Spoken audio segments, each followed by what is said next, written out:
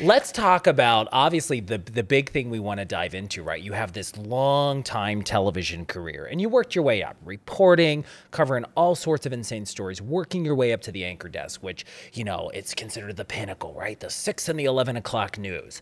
Um, but you've been through some stuff because, you know, for people who aren't as familiar with to your story as you know loyal WNEP viewers are. You became the news at one point. I became the news, right? And let's unpack that because you left WNEP in 2016. Mm-hmm. But when did stuff hit the fan for you when all of a sudden your name was all over the newspapers, your name was on other news stations, and well, your family was getting crushed in the media. Right. It was. I was, and I was, and the thing is, I was at the height of my career. I mean, uh, you know, you worked with me. You knew um, you know, I wasn't just an anchor at 16. I mean, you I, produced the 6 p.m. Right, news, right. and you helped tremendously in the editorial meetings. The editorial decisions, I think, every every day, and and and generating that news content every mm-hmm. day. Um, I, I had, and, and that's the part I loved the most was finding stories. Um, what stories really matter to the people of northeastern and central Pennsylvania, and I felt like I had such an advantage because I was born and raised here. Um, so I mean, I, nothing, everything was going so well. Every professionally, personally, it was going fantastic. Living You're married, married, two kids, two kids, uh, two daughters, Sarah two, and Rachel. Yes, beautiful. You know, beautiful home. I finally, you know, got that. I was at that level where, oh wow, you know, a great neighborhood, living living in a, a wonderful town. Everything was just fantastic, and then um, it came crashing down. My world came crashing down. Hey friends. Hey, friends. It's the Ryan Leckey Show.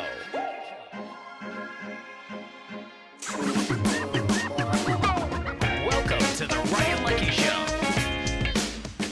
Hey everybody, and welcome back to the Ryan Leckey Show. I'm super pumped up today to have on the podcast couch somebody I worked with, I would say for like 18 years. Yes who, if you grew up, lived in northeastern and central Pennsylvania, and you ever watched the ABC affiliate WNEP TV, you knew her voice, you knew her name. The one and only Marisa Burke. Ryan, it is so great seeing you again. We haven't seen yeah. each other for a while. We've and, talked off and on right. because we have mutual friends, but we haven't got to sit down just to chat about your life after the anchor chair. Right.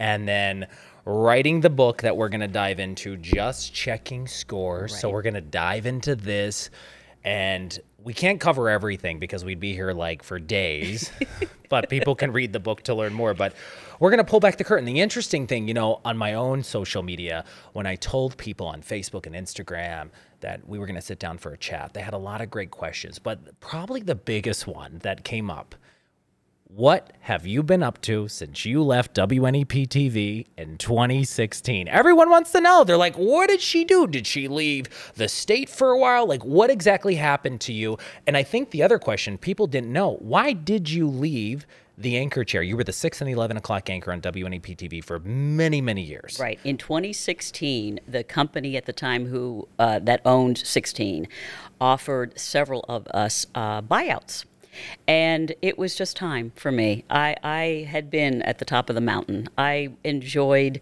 my career at uh, WNEP TV, uh, but it was time, and I knew it was time. And um, I left, and I was very fortunate. Uh, less than a year later, um, Geisinger health system offered me a job, and I was their national media specialist for about a year. Uh, and my job there was to promote the healthcare system to top tier national outlets, the New York Times, the Wall Street Journal, the Washington Post, and uh, to get national publicity for Geisinger. And then in 2016 or 2018, I just decided it was time to maybe see another part of the country. My mother was leaving Pennsylvania to move to Colorado to be with my younger brother. So we had family out there. And I thought, you know, uh, after a long career and after being in the area, maybe it's time. Maybe it's time for a change. So in 2018, I moved to Colorado Springs.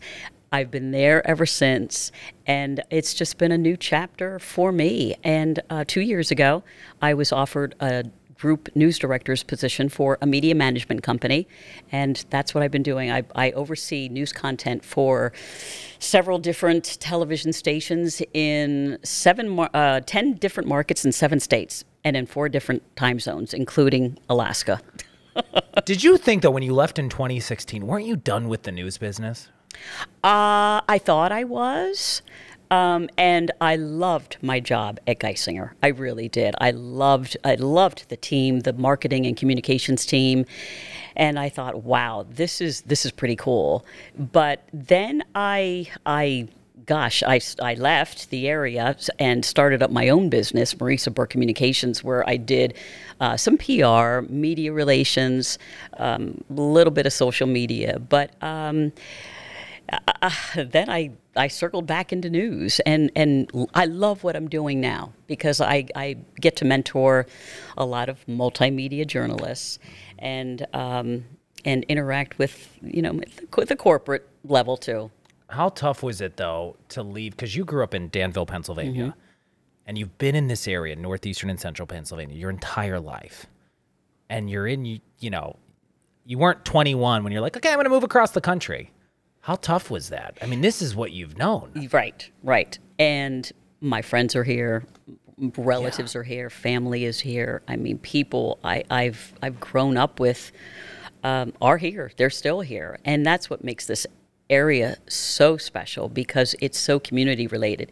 The the big thing about moving to a place like Colorado, uh, the the state, the area is full of people from not in Colorado. Okay. They're, they're, they're coming from Texas, California. Mm-hmm. So nothing is entrenched. You know, there are no neighborhoods there's no community there's no there's nothing about traditional food and things like that um, that's what i had to get used to but yeah what um, did you um, miss when you left there were you was it oh, the pizza here was it the gosh, food it was the fabulous restaurants that are here and you don't realize that ryan until you, you leave. leave. the area yeah. and then you come back um, the the mom and pop restaurants we were just at one last night and it was just terrific. It was yeah. so good to be back and have good home hearty food again and taste taste. I don't know if it's the elevation out in Colorado yeah. because I'm at I live at 6,200 feet above sea level. I don't know if it's the altitude, the elevation, yeah. but the food just doesn't taste the same. Yeah, and I agree. I had like obviously when I would go visit my mom when she used to live in Florida, I'd be down mm-hmm. there like, isn't there any good restaurants yeah. around here? I can't wait to get home and eat. Yes, yes. So I agree with you. Let's talk about obviously the the big thing we want to dive into. Right, you have this long time television career, and you worked your way up, reporting, covering all sorts of insane stories, working your way up to the anchor desk, which you know it's considered the pinnacle, right? The six and the eleven o'clock news.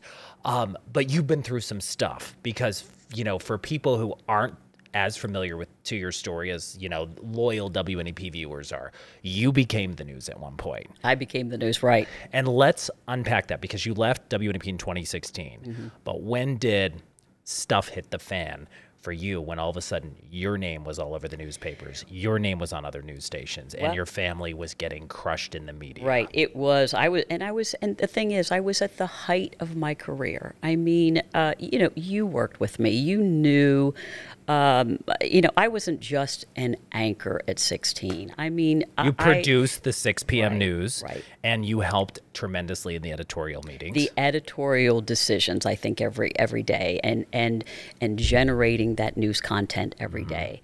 Um, I, I had, and, and that's the part I loved the most was finding stories. Um, what stories really matter to the people of northeastern and central Pennsylvania, and I felt like I had such an advantage because I was born and raised here. Um, so I mean, I, nothing, everything was going so well. Every professionally, personally, it was going fantastic. Living You're married, a, married, two kids, two kids, uh, two daughters, Sarah two, and Rachel. Yes, beautiful, you know, beautiful home. I finally, you know, got that. I was at that level where, oh wow, you know, a great neighborhood, living living in a, a wonderful town.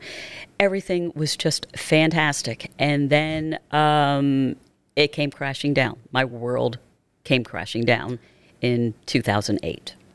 And we're going to unpack that. And I think the thing I want people to know when they listen to us, you listen to this today and watch it. You and I worked together for 18 years, but this is the first time we're unpacking all of this, what we're about to talk about.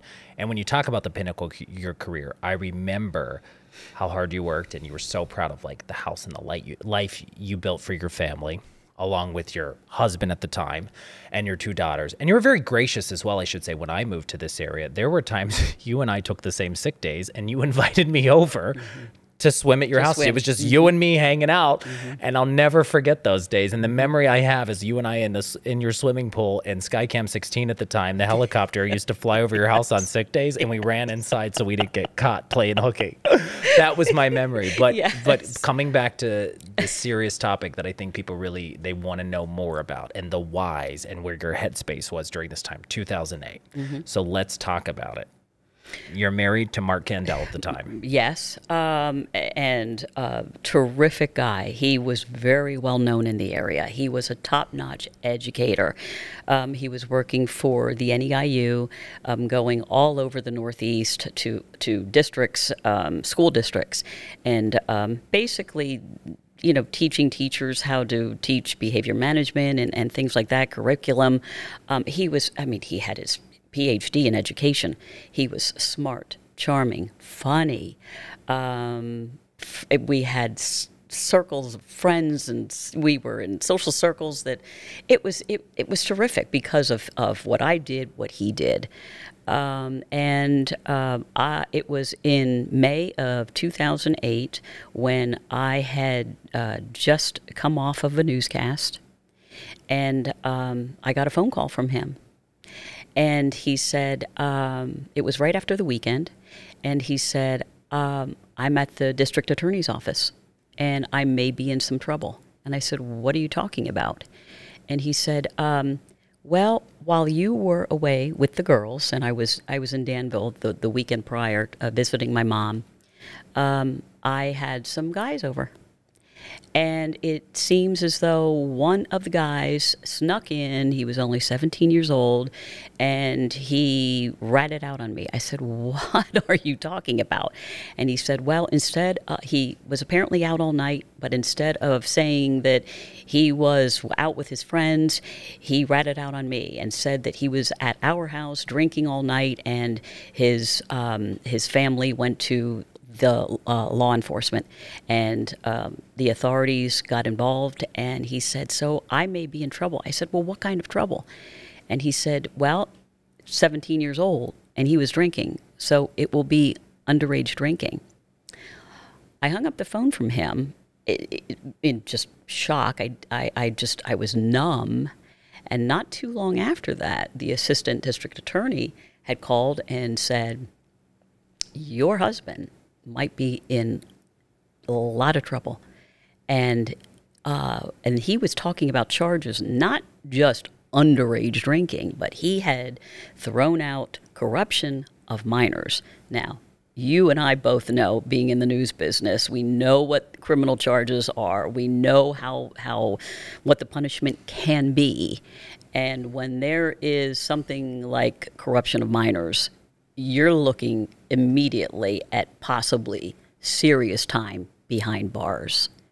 And I'm thinking, I just, I, I, I was in shock. I just, I was, I was floored. So it goes from the phone call with the district, from Mark calling you from the mm-hmm. district attorney's office saying, "Hey, I think I'm in trouble underage stuff."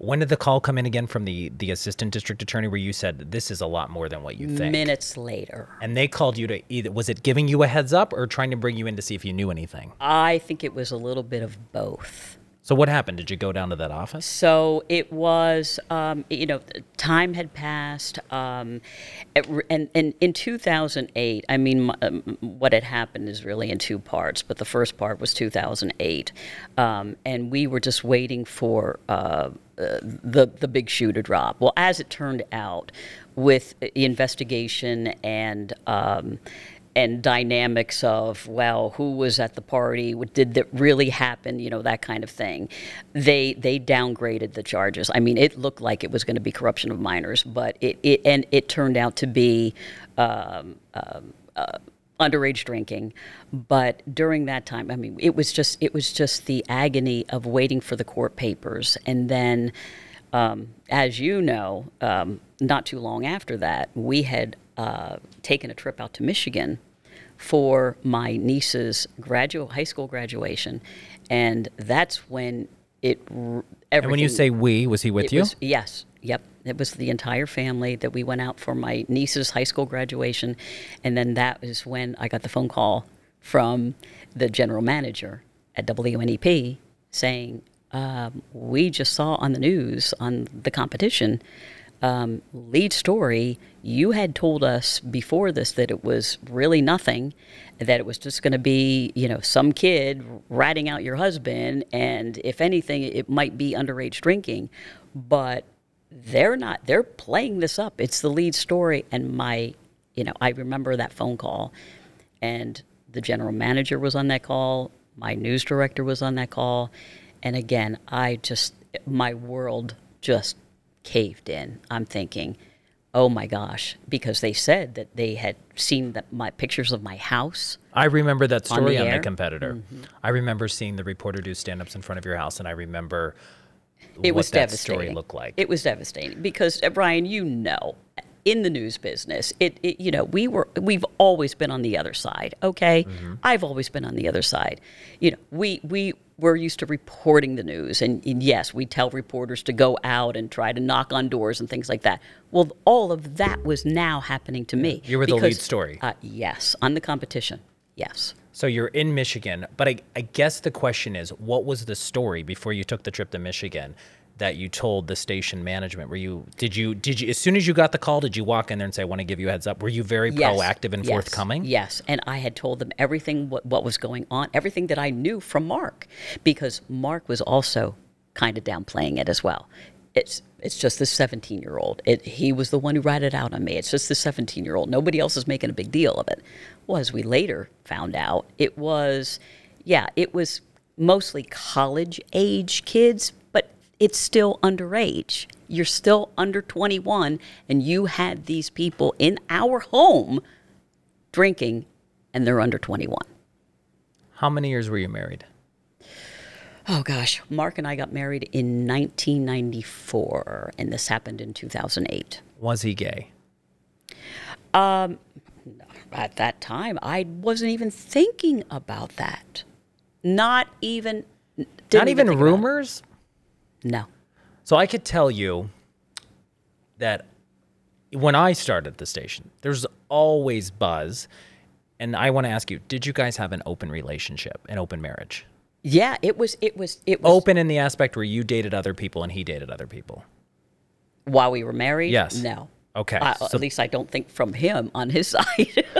So, right. So you were not seeing anybody else at the time when you were married. no. And you had no inclination that he was into guys. No, absolutely not. Because of our life together, our private life together, and we. So you were still intimate? hmm we were still intimate. Yes. So it wasn't like we weren't intimate for years and there was any red flags. No. So walk me through. You're in Michigan. Yeah. Stuff starts hitting the fan again. Yeah. You feel like my life is imploding. He's with you. Your kids are with you. What were those calls you were getting? The general manager called, said you're the lead called. story on the Mhm, competitor. You're not even in the state. Not even in the state. And what was what what were all these charges coming up? And uh, it was just a, a huge story on the competition about he had hosted an underage drinking party. And that was the story. And the fact that it was, I mean, remember, it was so, it was that much more intense because he was an educator. He was a local educator. So we're talking about uh, uh, an educator um, who now is accused of furnishing alcohol to minors.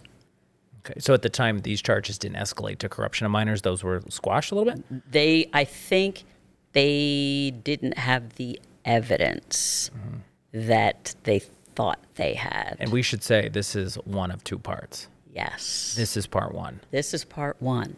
What was that drive like back from Michigan and what did you do next? Very little words spoken on the trip back. Um, I did uh, tell him, I said, You have to tell the girls. I'm not telling the girls. You have to tell the girls. You have to sit down and explain to them what is going on, and you have to let them know that you are now in trouble with the law.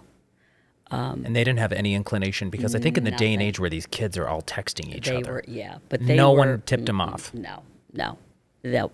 Um, but it, the the good thing was it happened at the end of the school year, and so we had kind of a buffer between the the, the time that they would be with their friends in school to the start of school, because it, all this came down at, toward the end of May, early June of 2008. of 2008. So you come back. What happened legally? Like, walk me through the process. Did you have court hearings and then some things seemed to go Um, away had, for a while? Yep, he had his typical court hearing. He decided to plead guilty um, because he thought it would be the easiest thing. He knew what the punishment was going to be, which was 90 days of house arrest. Um, but he lost everything, Ryan. He lost his career. He lost. He, he. I mean, he lost his Pennsylvania license to teach, his certification to teach. He lost everything what but I still supported him. I I believed him when he said it was the 17 year old who ratted him out.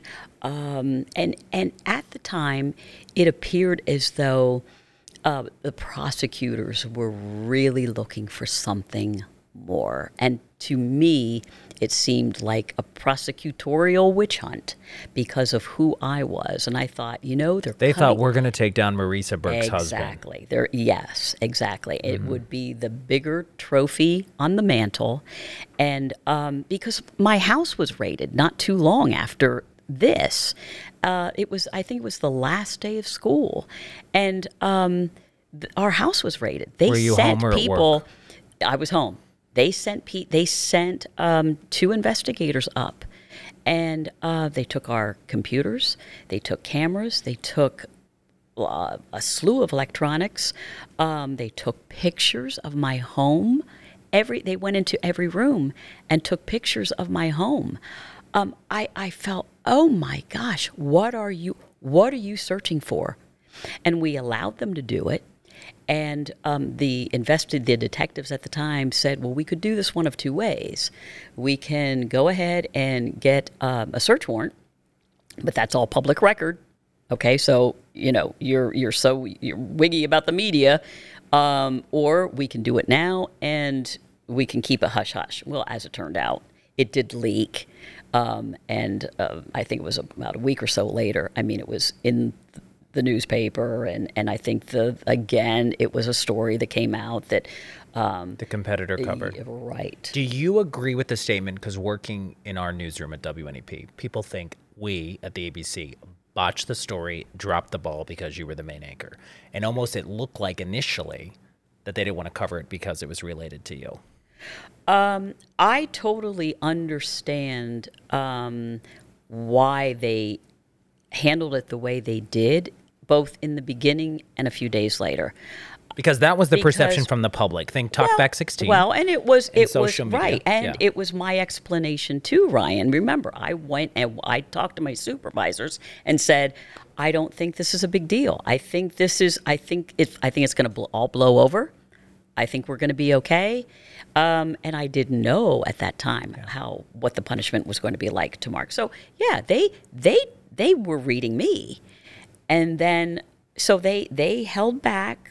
But then when they saw the competition, when it so when it leaked then, right, from the Right. raid, correct? Exactly. So when they raided your house, walk me through what happened after well, that. then it was in papers, the exactly. competition, and and, then and then we picked it up as well. I mean, this, our WNEP, where you worked, your station had to report on absolutely. What Yes. was that like? And well, they gave me a leave of absence in 2008. They said, um, you know, too much stuff is coming out.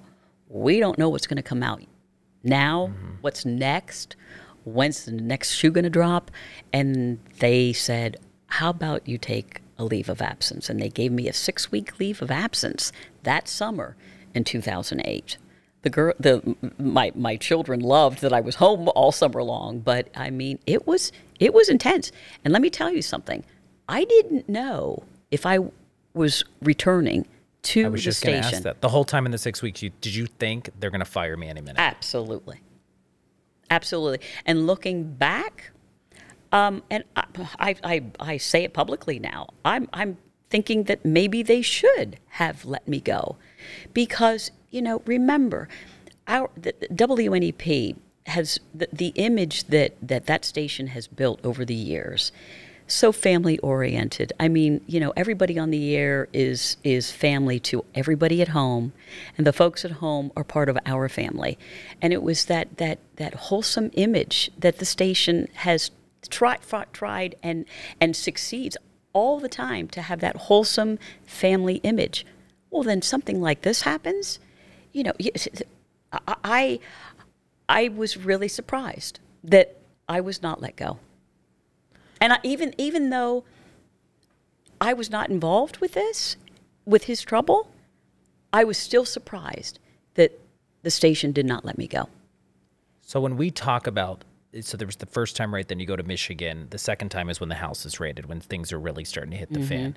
What were the conversations like at home? Did you ever just say like that's it. I want a divorce. I'm, I'm done. I don't. Tr-. Did you ever say I don't believe you? No, not in 2008. See, that's where I, I still loved him. I still supported him.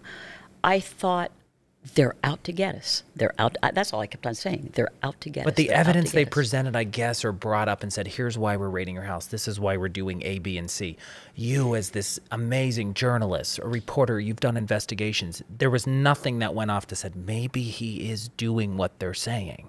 No, because they they really didn't have um, what what for a search warrant. They did, you know, they they need to show you um, um, concrete evidence of why they're searching your Probable place. cause, proof, probable right. cause, yes, and they really didn't have that. They were they were I think they were, and that's what it appeared to me. They were just, oh my gosh, I kept on saying, they're out to get us. They're out to get us. What are they looking for? What are they looking for?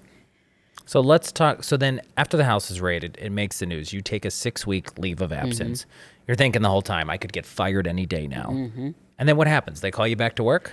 Well, first of all, um, and it's in the book how I went. I, I, they not. I wasn't hearing anything about the uh, items and electronics and belongings that they had taken from. They had removed from our house in the raid, and weeks were going by, and I said, you know, I want. I want the, the computer back for my kids.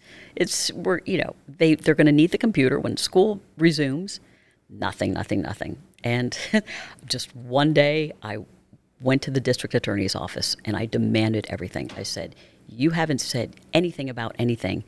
And they finally admitted, they said, No, we didn't find anything on your, on your computers, nothing on cameras, nothing. They found nothing. And I was, I was just so angry, Ryan, because at that point I was, I was thinking, See, I knew all along, I knew it all along that you were just you know, trying to make something out of nothing. And, you know, you were out to get us because of who I am and who Mark was. And that's what was going through my mind in 2008. But there was another bomb about the drop, right?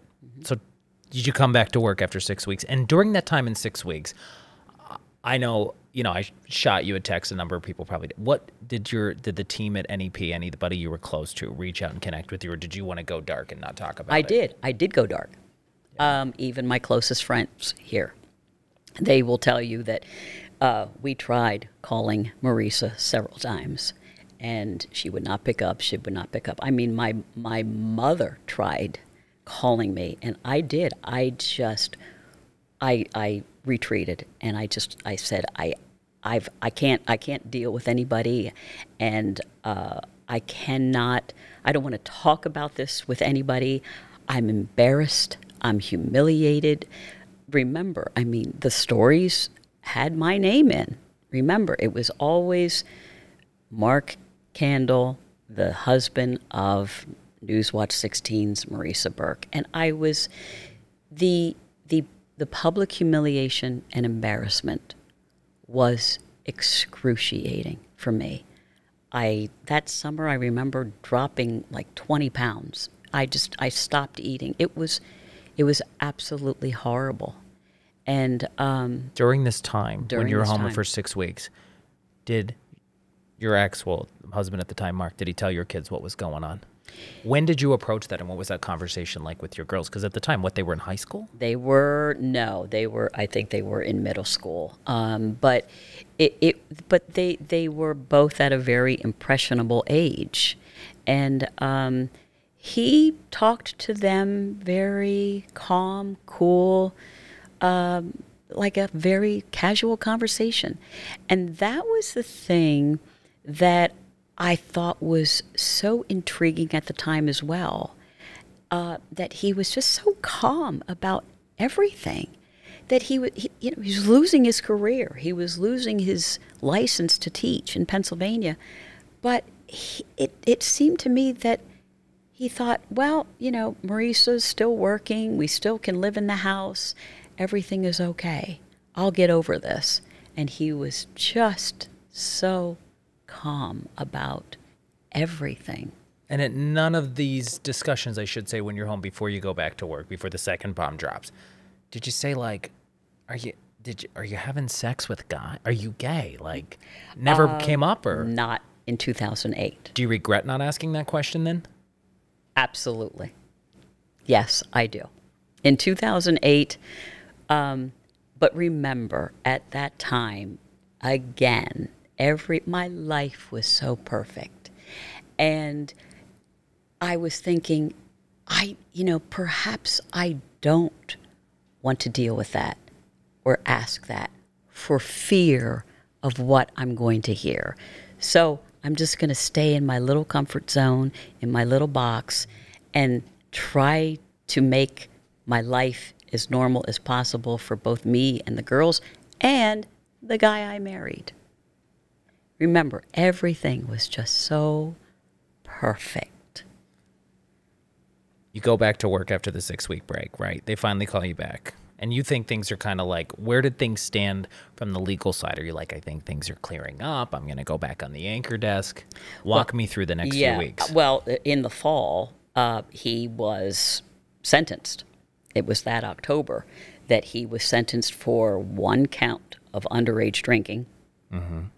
And then he was put on 90 days house arrest. And then after that, it was what I thought was over. When did the second bomb drop? So you're back to work. And let me ask you this because I noticed it watching you work because you and I would see each other often. Do you feel like you were more compassionate on stories after you were on the other side of it? I felt like when you went back after that six weeks, you weren't. I mean, you were, people would say you were like a savage journalist. You got to the bottom of stuff, right?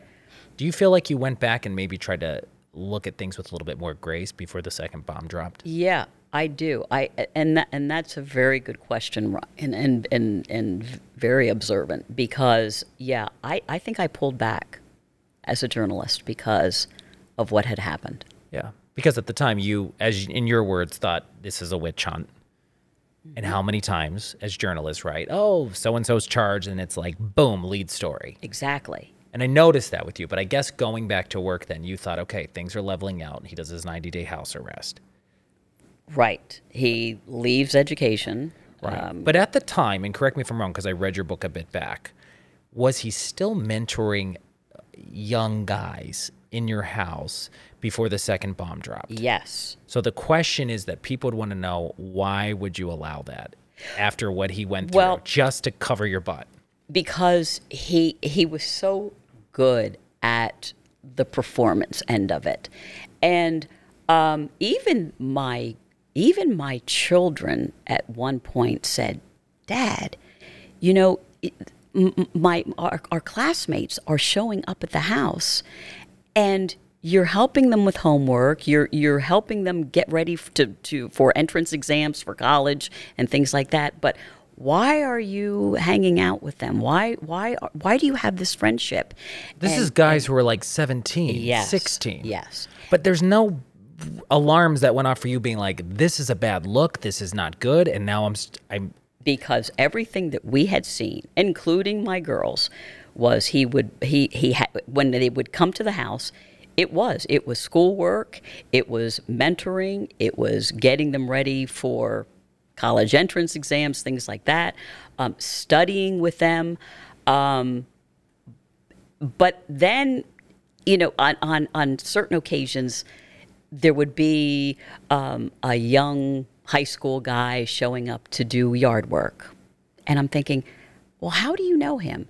And it was always, and every question that we had for him, it was, well, um, I met him at the gym, or he's a friend of Rachel's, or he's also on the swim team, and that's how I know him.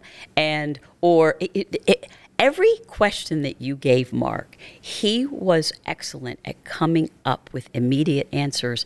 And the confidence that he had and the performance that he gave, it You- was it you was it was it? convincing.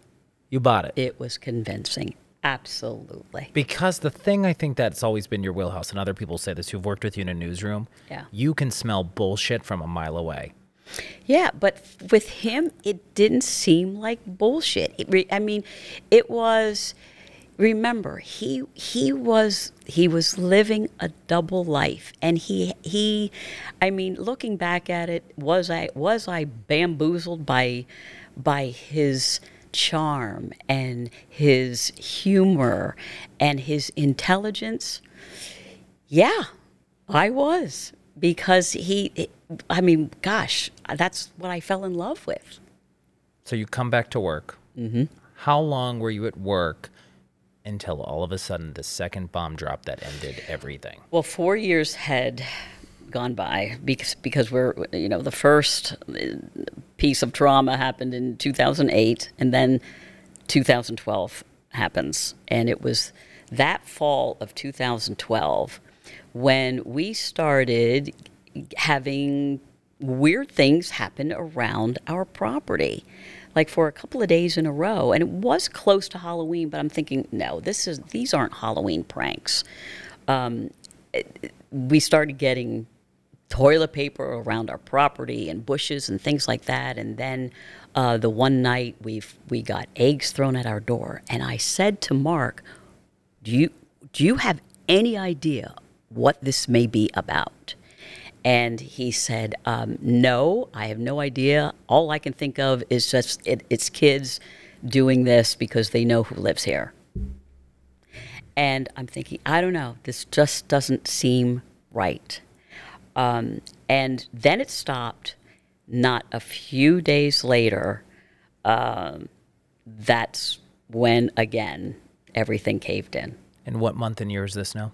this is October, and um, The year was what? and the year was 2012. All right. So 08 was the first time. Yeah, Now it was after. Yeah, it was actually after Halloween. So it was the beginning. It was the beginning of November when, um, and this is how I started the book. Was um, I had just done the noon news. I had just finished anchoring the new newscast, and I had gotten back to my desk. And at that time, Ryan, I was not one to take my phone out to the set. I left my phone at my desk, and I picked up the phone and I saw that it was my neighbor across the street had left a voicemail. And when I listened to the voicemail, it was my neighbor saying that uh, he said, Marisa, I don't know whether you know this or not, but I'm looking out my window and I see state police, the FBI, local police, and it looks like they are trying to break down the front door of your home. And they have your home surrounded and this is the voicemail that my neighbor left and that I retrieved right after I had anchored the new news. And I thought, oh my gosh, here we go again. And what did you do? Go tell your boss I got to go home. That's immediately. I, I walked into my supervisor and said, I think something's going on in my neighborhood. Not sure what it is. Didn't and I didn't give him any details. Um, and all my news director had said was, "Well, if it is something, call us and we'll send a camera up there." And little did I know that what had happened. And I, I and then when I, I so I hopped in the car But I mean, at the time, you knew it was your house. Yeah, oh, absolutely. But you're just you didn't have all the, I guess everything in a like all the ducks in a row where you're like, here's what's going on. Mm-hmm. But you kind of didn't tell them what was happening. You kind of said, just Ex- something's happening in my neighborhood. Exactly. Yeah. So you go home. So I go home, and it's quiet. It's eerily quiet in the neighborhood. There are no police, no nothing. Everybody's gone. And I tried calling Mark several times about what is going on. No answer, no answer, no answer. And the reason that there was no answer was because the authorities had raided our home again, confiscated his phone, and that's why there was no answer when I tried calling him. But when I showed up, again, he was there. He, I said, "What in the world is going on?" And he said, "Well, um, I may have gotten into some trouble because I was texting some guys, and I think they found out about it." And um, I said, Well, what do you mean texting? And he said, Well, they were sexual in nature. And that's all he said. And how old were the guys? And they were, I, they were high school age, 17. Yeah, 16, 17.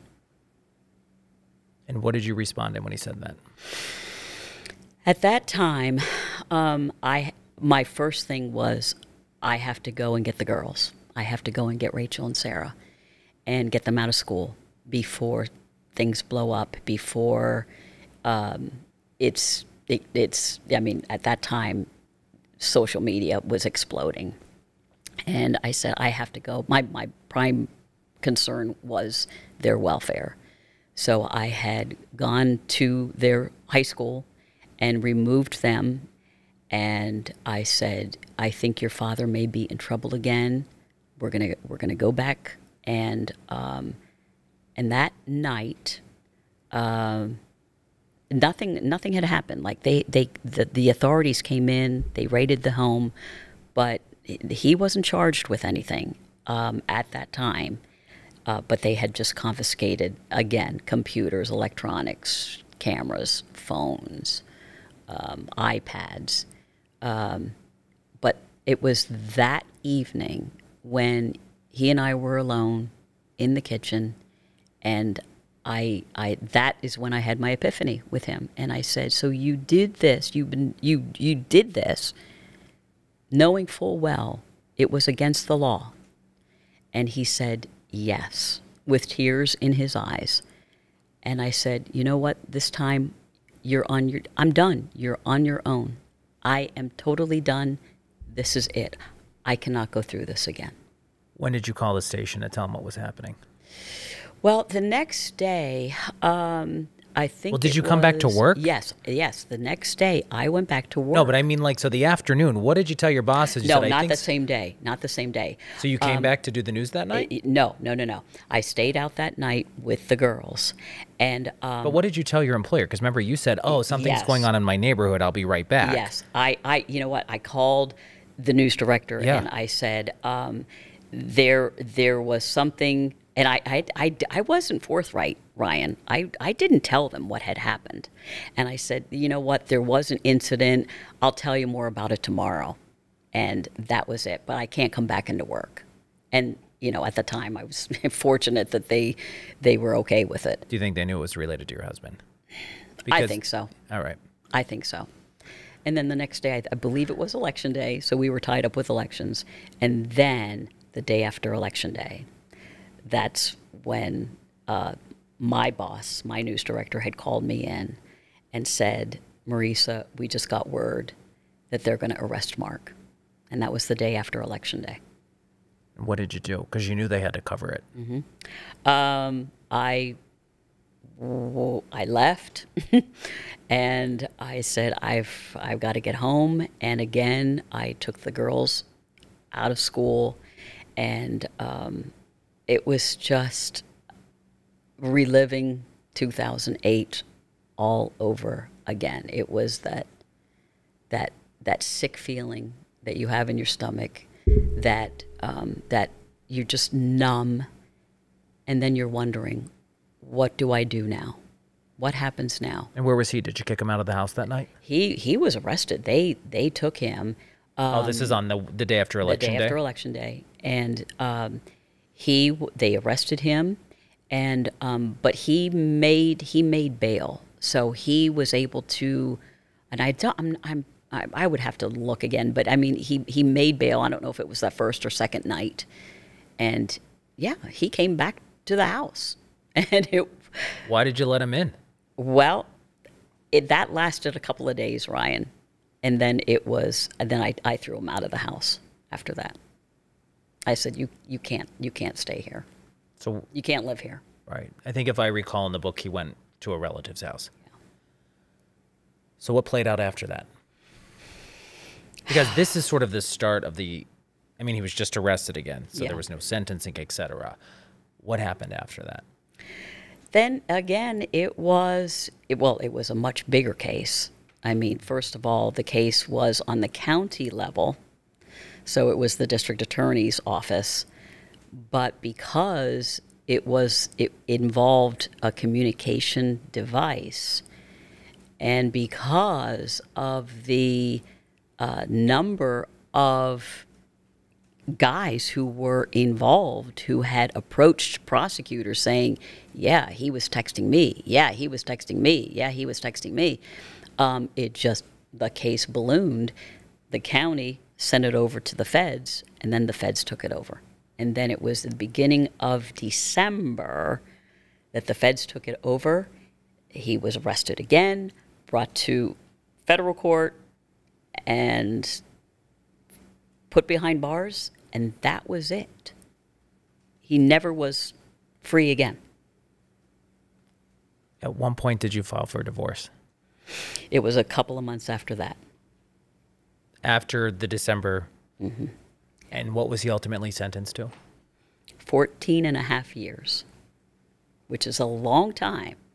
And you, because you know, we've covered some cases where people sentenced for homicide do not get 14 and a half years.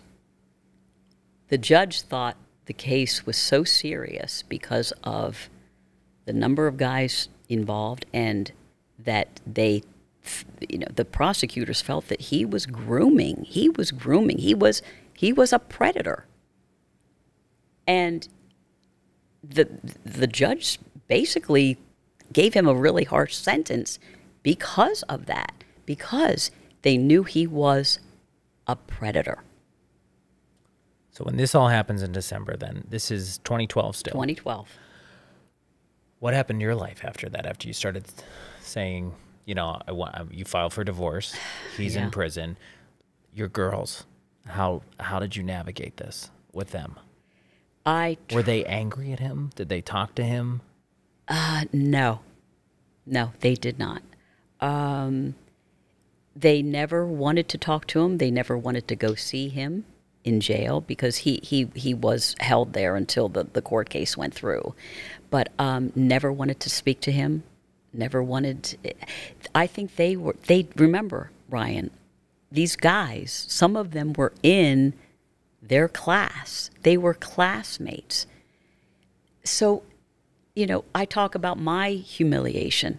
Think about imagine. their humiliation and that their father is all over the news. And to to their credit, I think looking back, um, I think they were trying to protect me and make me feel better by not showing their emotions, by not showing how hurt they were and the betrayal they felt. They were they were so close with their dad. They loved their father, loved him, and for this to happen to a child, and the betrayal, and the embarrassment, um, it's it's traumatic. You were still working then after all this Mm-hmm. rolled out. What was that like? I mean, trying to do your job every day, being in the public eye and knowing what happened. Well, you know, uh, I had an angel come into my life not long after the feds took over the case and, and he was behind bars. And um, she was an attorney. And she said, You have got to file for divorce. And you can't wait. Because I knew it was in the wings, but I, I thought I have too much to deal with right now. I've got to make sure that my life is normal as much as it can be and, and for the sake of the girls. Um, but she said, no, you have got to do it now because you have got to have that disconnect with him and you have got to show your employer that you are cutting ties with this guy so that they know that you are totally, you know, you're done with him. You're you're he's out of the picture and you have got to make that commitment. And thank goodness she gave me that advice because I jumped on on filing for a divorce immediately after that, and um, and I had to, and it was good because up until that point, remember that every story that was on the air mentioned me. I was dragged into his scandal. It was the husband of Newswatch 16's Marisa Burke. I mean, and it was over and over and over and every yeah, every just because update. he was busted in December, right, or he was in prison then. exactly. That It that carried- headline yeah. continued to It- carry. The headline continued. There was a report, and I tell me if this is accurate. One of your, your ex-husband's accusers ended up getting in trouble with the law down the road for something totally unrelated to Mm-hmm. this. And there was a report that you wrote a letter to the judge Mm-hmm. on company letterhead from WNEP, Well, it wasn't the judge. It was it was the prosecutor. and you wrote a letter Yes. basically saying this person should get the severest punishment, blah blah blah. And they were one of your husband's accusers who was busted for something else. Totally overstepped my boundaries. And do, is that something I regret? Absolutely. And I I, I mention it in the book. Um, but again, I was just I was so so so angry and that was after that was after 2008 remember that my my feelings toward mark in 2008 were still i love you. I support you. They're out to get us. Okay? Um, so that was that was after the 2008 incident where yeah this young gentleman had gotten in trouble and i, I and and the let my letter was see I told you, we told you all along. You know, this this kid was bad news, and um, it was it was. Looking back, that was another instance where probably the station should have let me go because of what I did. And as it, as it turned out, I mean, they gave me Ryan a firm warning: you don't do this. They found out about it. Oh, absolutely, yeah. I guess the the before we get to just some other questions people had on social media, one of them I, I do want to dive into. When Mark, your ex, was sent to prison, right in that December timeframe. Yes, Is it true? Did you give his old suits to your co-anchor? yes, That is true. that is true. Yes. and he took them and wear 'em- wore 'em. Took the suits. Ye- Yeah. Okay. He, he- yeah, but did he wear them? I, you know, I I can't answer Just curious. that. Yeah, But no, that that is true. Yeah, because I was clearing out Mark's closet and Mm-hmm. I wanted everything out of there. I didn't want any anything of him. Because it was almost like contamination. I wanted it out of the house. The other question is from people: Why write the book? What did you want people to take from it? First of all, for me, Ryan, it was I had to come to terms with everything that had happened. Um, I, I, I will tell you this: I know before I left the station how bitter I was, how angry I was, um, and be and and hostile. And sometimes I was I was downright hostile to coworkers. And I thought this this is not me and this cannot go on. I can't have this this uh, this anger and bitterness hanging over me for the rest of my life because of what happened. You know, oh, how could this happen to me? Why did this happen to me? And I that, that it was it was really really dragging me down and I just felt so angry with the world. Um, so I had to come to terms. I had to do something that would bring me some sense of peace. And I needed to channel that, that anguish and despair into strength and resolve. I, I, I knew I had to do that. Otherwise, I couldn't go on with my life. I really, really could not. Your kids weren't happy about the book. Um, they did the book impact your relationship with your daughters? They, I think for um, my Sarah, it did. I think, remember, Sarah was the one who showed up for Mark's sentencing. The day he was sentenced, the day the judge said 14 years. 14 and a half years. Sarah was the one who um, showed up at that day. I was not there in the courtroom. Um, the prosecutors wanted me there. But I said, you know what? I can't do that. It, it, I'm not going to turn Judge Caputo's courtroom into a circus. I'm, I'm not going to do that. Um, but Sarah found the courage and bravery to to stand there and basically say, you know, my father is the epitome of selfishness, and he you know he ruined our lives. And she was what she was only what a sophomore in high school, and um, I, I I again I think it took a toll on the both of them. I do. Um, uh, for a while, Sarah was was um, struggling with her sexuality and finding herself, and finding who who sh- who they are, and and I think my Rachel um, has been she's been all over the world, Ryan, but I think in a way she's she's still running. I think Rachel is still running, and she's because she's she wants to see the world. She wants to she doesn't want to stay in one place. She wants to it's that distraction, if you will, that if I keep if I if I go to a different place, I won't remember the past, you know, type thing. So, do I think it has had a toll on the two of them? Yeah, I do. Do you think they're stronger because of all this? I hope that they're stronger, but I cannot say for sure. I can't. I can't say to you now that I think they're stronger. I'm. I am not sure. The book is titled Just Checking Scores. Why did you name it that? Uh, before his before his arrest in 2012, um, he was constantly looking at his phone.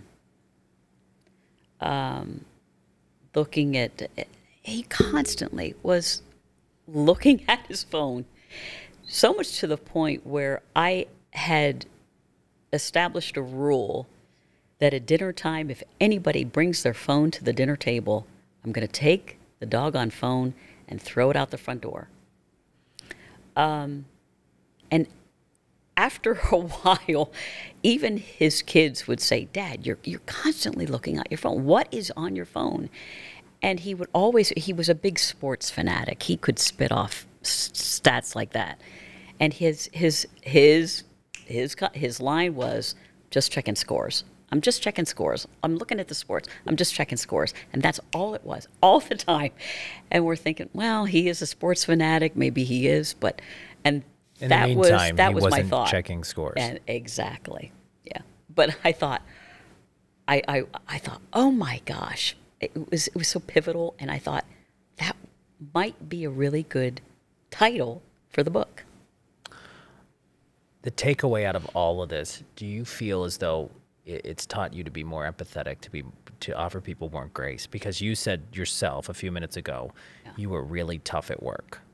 And I know some of the young buck reporters, right, would be like, "Man, she unloaded on me, and I don't think she should have mm-hmm. went to that extreme." You mm-hmm. were. exactly. Do you think some of that anger you had at home carried into work, and sometimes you would just? Oh, absolutely. So so hypercritical of everything and everybody. Like I said, it was it was it was that bitterness. And that's I think, and and now it's, I'm a, I am a different person. I I truly mean that. I'm more tolerant, patient, seeing all sides.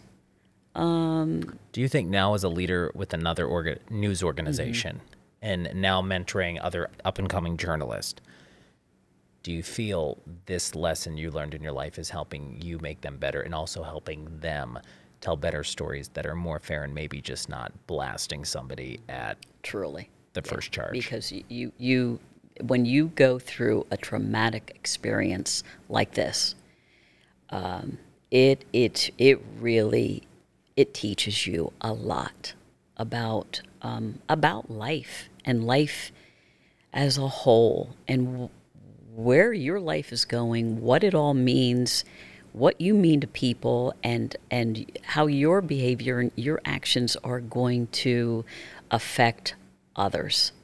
Um, yeah, I, it's, it's yeah. I, I am a I am a much different person than I was right before I left WNEP. And I want to say there's a ton more into the book that you talk about. This is just scratching the surface. There's more to it. So when people hear just checking scores by Marisa Burke, where do they find it? How do they get it? So they can learn more and, and dive into the behind the scenes of what was going on when you weren't on camera. You mean how they can How do they buy it? how they buy well it's it's you can it's it's easy it's amazon walmart um, yeah m- mainly amazon Do you think, by the way, I heard rumors from other people that this may be possibly turned into a, a movie? well this past october um, it was featured on the um, investigation discovery channel um, their series who the bleep did i marry they were it was season seven and I think I was episode two. Um, they picked it up. They right after the book was released. I had heard from producers of um, Investigation Discovery, and um, they came.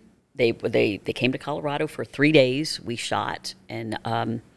Very much like this, you know, interviewing me for hours, and um, so that aired the, the last October, um, and then just very recently, uh, we got word from a screenwriter in uh, Toronto and a producer out in Hollywood that they picked up interest in the book.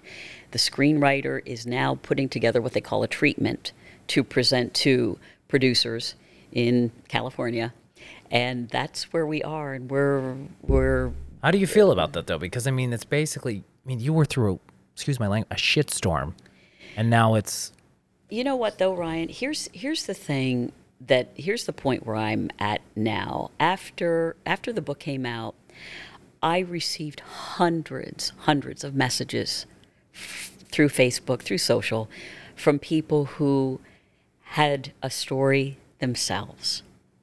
And they shared that story with me and they said, you know, your book actually helped me get on the right path um, because I felt the way you did. I was so bitter and angry and hostile to everyone, family, friends, you name it.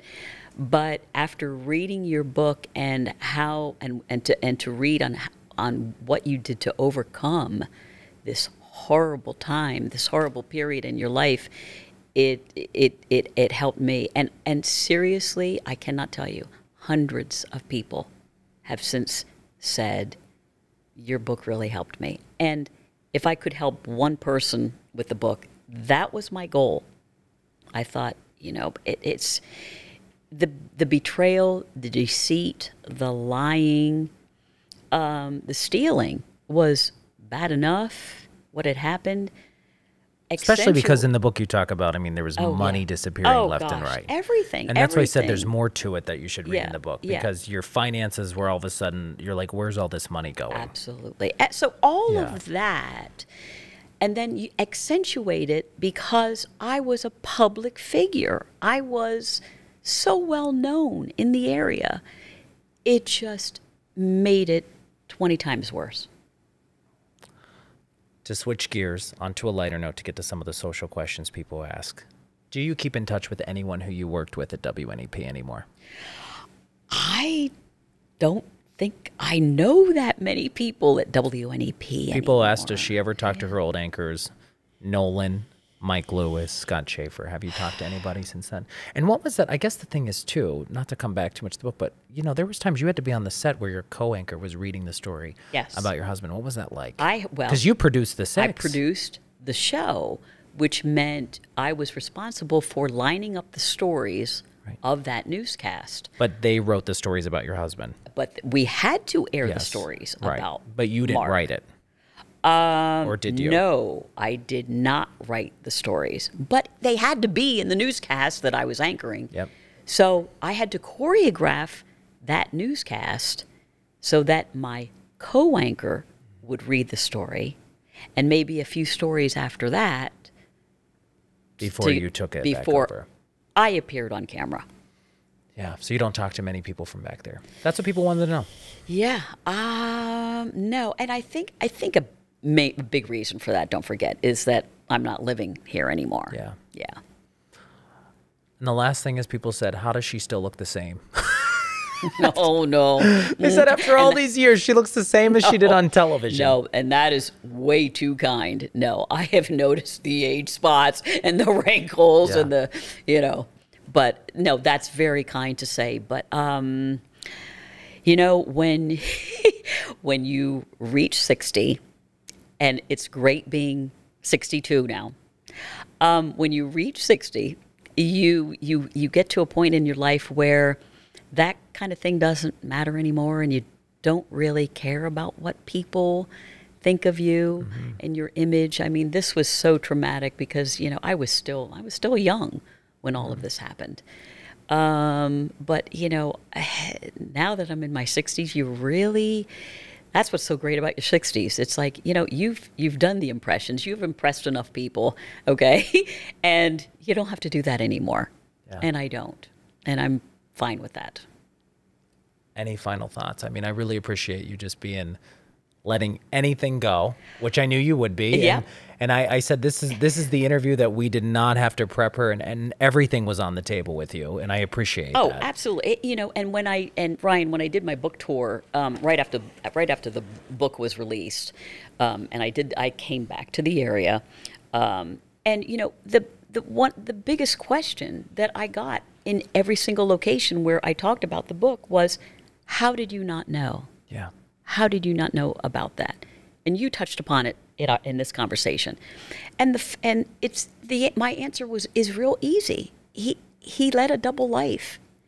Um, I mean, look at look at all the other figures. You know, uh, Matt Lauer, uh, uh, Charlie Rose, Bill O'Reilly. I mean, they were all brought down with, you know, sexual harassment charges. You know, but that wasn't the person we saw. That wasn't the person in the newsroom.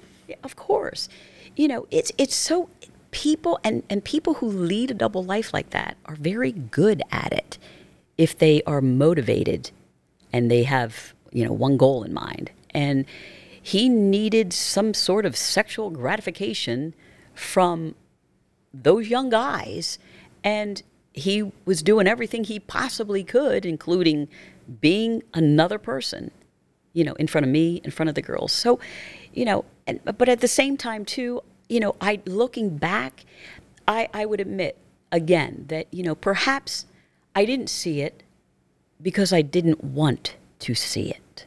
Because my life was just so perfect. You know, the great career and the beautiful house and the, you know, everything was going so fine. How could I have something ruin my perfect life? Yeah. Have, has anyone talked to him, your kids or you? No. And you know, um, he is being released in April of 2024. So this time next year, um, he should be out of the federal system. All right. Anything else you want to add? I appreciate your time, seriously. And I think what's interesting for as long as I've worked with you, and even after you left, we never had this conversation. No, we did not. Um, and you and I, we we were close, and and I, I felt your sympathy when all of this was happening, and Well, I mean, you always joked, even in the newsroom, you were my news mom, yeah, right? yes, Like, and I kind of say, coming back to what I said, I said you were, you were sometimes you were, you were pretty savage sometimes at work with some of the the people and critical. But for me, you had my back, and I could always ask you stuff, and I always Right. appreciated that. But I, I and could, you taught me a lot. But you, as well as many, many others at the station, were so sympathetic, but at the same time, the conversations were awkward. yeah, You didn't know how to approach me. And, and most people in the newsroom did not know how, they didn't know what to say. You know, when I came back from my leave of absence, wh- what are we supposed to say? How are you, Marisa? Well, how do you think I am? You know, Yeah. it was very, it was awkward, but I don't hold that against anybody. Yeah. Of course it would be awkward. but I see it. You have a whole new chapter going on now. So I feel, you know, it, it, there was redemption and reconciliation with myself and, um, and reinvention, I think. Um, And I have me. to say, throughout this conversation, you kept coming back to I had to be there for my girls. I had to go Yeah. get my girls. I had to take care of them. And I know your girls, and I've met them, and I saw them, you know, recent, just even recently, and they're smart and they're bright, yeah. and they got through this and just they, like you. And they got through it. Thank goodness they got through it. Um, and and hopefully they can lead a normal life because they they have a lot of life ahead of them. All right, so good to see you again. So I good to mean, you've been in. Denver, or Colorado, Colorado Uh, Springs. Colorado Springs. Mm-hmm. So thank you for coming here, having this chat, and answering all these questions. And again, a lot more to tackle. So check it out, Marisa my my former news mom. Thank you for having Seriously, me. Seriously, thank you. Again, it's just checking scores available where books are sold. I appreciate your time and seriously for opening up about You're all of that. Welcome. I'll see you guys next time.